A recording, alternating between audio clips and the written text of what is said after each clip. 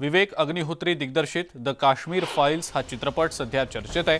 पंतप्रधान नरेंद्र मोदींनी नुकतीच या चित्रपटाच्या टीमचीही भेट घेतली होती. भाजप संसदीय दलाच्या बैठकीमध्ये पंतप्रधान मोदींनी द काश्मीर फाईल्स या चित्रपटावरही चर्चा केली आहे. त्यावेळेला पंतप्रधान म्हणाले की चित्रपटात जे सत्य दाखवलंय ते सत्य नेहमीच दाबण्याचा प्रयत्न करण्यात आला या चित्रपटातनं सत्य समोर आणण्यात आल्याचं पंतप्रधान मोदी म्हणाले. या चित्रपटाचं कौतुक करताना त्यांनी असंही म्हटलंय की हे सत्य दडपण्यासाठी एक इकोसिस्टीम काम करते सत्य समोर आणण्यासाठी असे आणखी चित्रपट बनवले गेले पाहिजेत.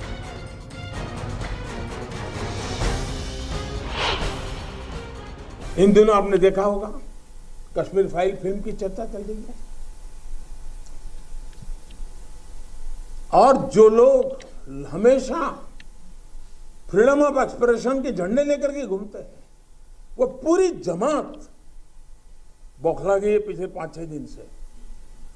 और ये फ़िल्म का तथ्यों के आधार पर, आर्ट के आधार पर, उसकी विवेचना करने के बजाय उसको डिस्क्रेडिट करने के लिए बड़ा मुहिम चला है आपने देखा होगा?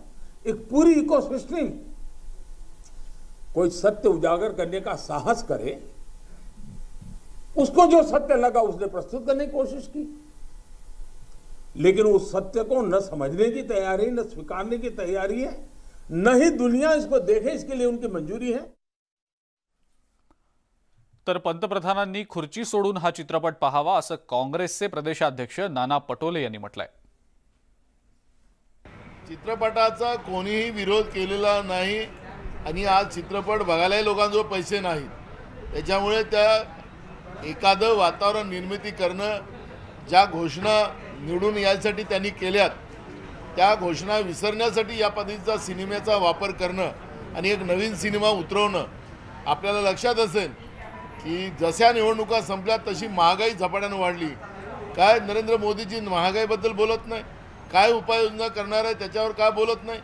सिनेमा बघून अगर जनतेचे प्रश्न सुटत असतील तर नरेंद्र मोदीजी आणि भाजपने सिनेमे बघतच राहावेत आणि जनतेच्या साठी जे खुर्च्या जनतेच्या कब्जा करून ठेवलेल्या सोडाव्यात.